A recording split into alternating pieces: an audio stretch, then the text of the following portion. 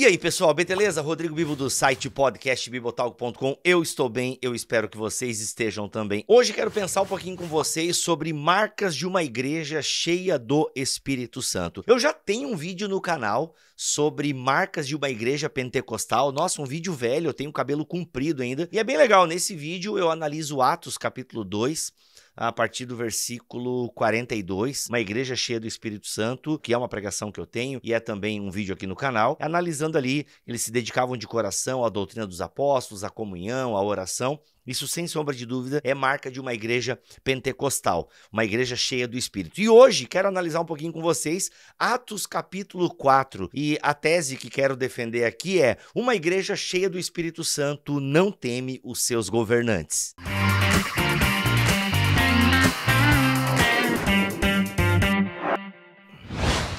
Em Atos capítulo 4, nós temos um episódio muito interessante, onde os apóstolos curam alguém que estava aleijado e por isso são presos pelas autoridades. E ou seja, isso aqui já é uma coisa muito legal que denota que eles estão o quê? Cheios do Espírito Santo. Afinal, aqueles que fugiram no ato da crucificação de Jesus, né, antes da crucificação, ali no monte, no Getsemane, são aqueles que agora, depois que verem que Jesus Cristo ressuscitou pelo poder do Espírito Santo, eles agora estão enfrentando as autoridades. E a gente pode ler em Atos capítulo 4, no versículo 8, o seguinte: Então Pedro, cheio do Espírito Santo, disse-lhes: autoridades e líderes do povo. Versículo 9. Visto que hoje somos chamados para prestar contas de um ato de bondade em favor de um aleijado, sendo interrogado acerca de como ele foi curado, saibam os senhores e todo o povo de Israel que, por meio do nome de Jesus Cristo Nazareno, a quem os senhores crucificaram, mas a quem Deus ressuscitou dos mortos,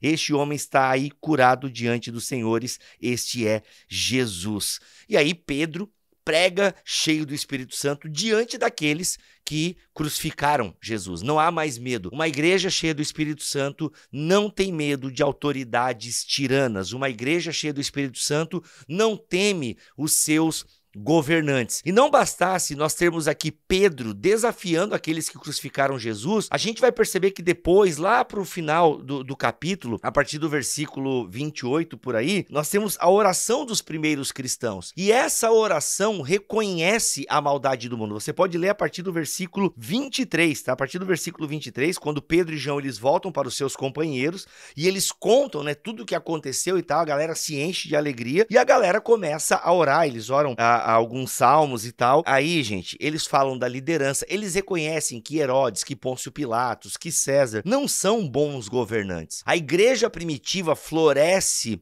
em toda a Palestina, Jerusalém, ali Império Romano, debaixo de autoridades cruéis, autoridades que crucificaram o seu Senhor. E a oração que eles fazem é uma oração muito linda. Antes de ler a oração, é incrível como a igreja primitiva tinha essa consciência do controle de Deus sobre as nações. A igreja primitiva confiava muito em Deus, por isso não temia os seus governantes. Vai pegando. E aí, leia o versículo 29 na NVI comigo aqui. Vamos lá. Agora, Senhor, considera as ameaças deles e capacita os teus servos para anunciarem a tua palavra corajosamente.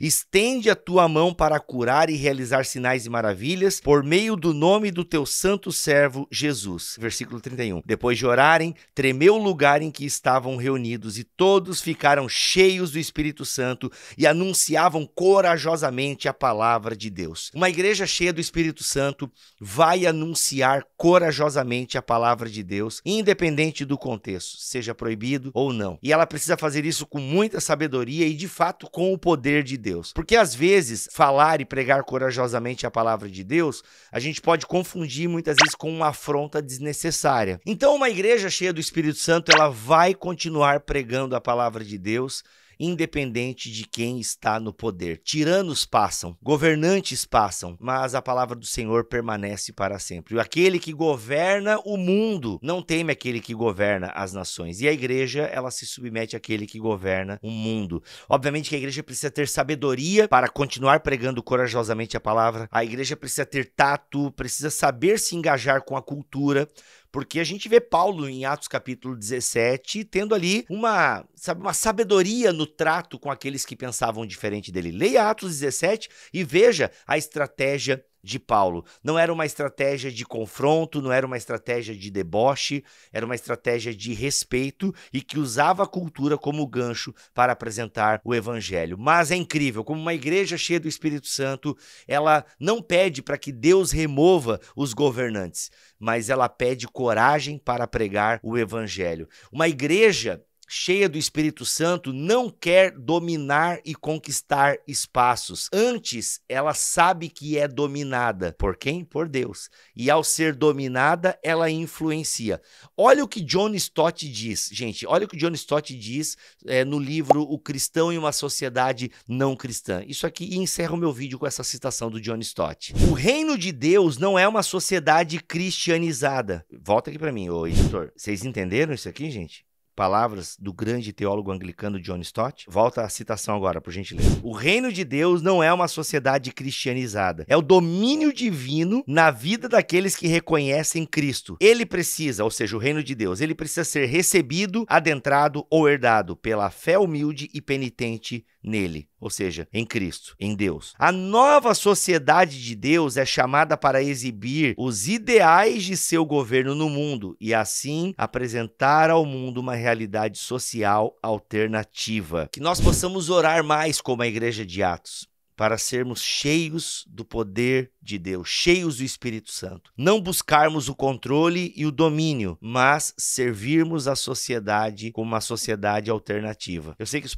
pode parecer estranho para muitos em alguns aspectos, mas nós somos uma comunidade de contraste e cheios do Espírito Santo. E olha que é interessante, se você continuar lendo Atos capítulo 4, lá no final do capítulo, você vai ver o que? Os discípulos repartindo os seus bens. Porque o cristão, ele não é aquele que somente obedece ao mandamento de não roubar, não pegar a propriedade alheia. O cristão, que agora não está mais debaixo da lei mosaica, mas debaixo da lei de Cristo, ele não só não se apropria daquilo que é do outro, mas reparte aquilo que tem. Alguém cheio do Espírito Santo é alguém que reparte o que tem. Tá aqui, ó, Atos capítulo 4, leia o final do capítulo. Gente, tem muito mais para falar sobre ser cheio do Espírito Santo. Eu quero te convidar para uma super live que eu vou fazer com o Cacau no dia 27 às 20 horas, tá bom? No dia 27 às 20 horas eu tenho uma live, só que essa live é o seguinte, é só para quem tiver o link. E para você ter o link, você vai entrar num grupo comigo no WhatsApp. O link tá aqui na descrição deste vídeo e no primeiro comentário fixado, um grupo no WhatsApp onde nesse grupo eu vou mandar o link para você ver essa super live onde nós vamos falar sobre ser cheio do Espírito Santo. E quem estiver no grupo vai ter conteúdo exclusivo também. Beleza? Então, espero vocês nesse grupo, porque lá que eu vou mandar o link para a super live no dia 27 às 20 horas, 27 de junho agora, tá bom? Vai ser muito legal. Eu espero vocês nesse encontro para falarmos sobre uma igreja cheia do Espírito Santo. Espero vocês lá no grupo, hein?